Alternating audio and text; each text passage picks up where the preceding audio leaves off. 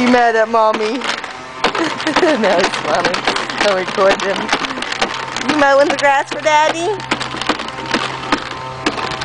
You're a sweet boy. Oh my gosh, this yard really is. Daddy. He said, mow grass, daddy. Oh, God, Daddy. Very good, David.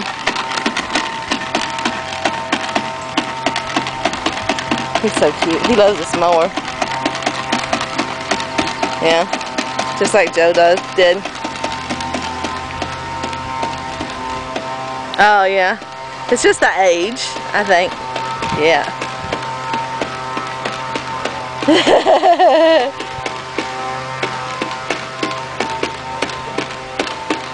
Yeah, right. Yeah, they'll catch up. Although Trace and Reed, they, you know, they would do a lot of the same things together, but then, you know, Trace would go and do Bionicles and exactly. Well, I don't think the Blog Boys are that much alike either. I mean, dang it.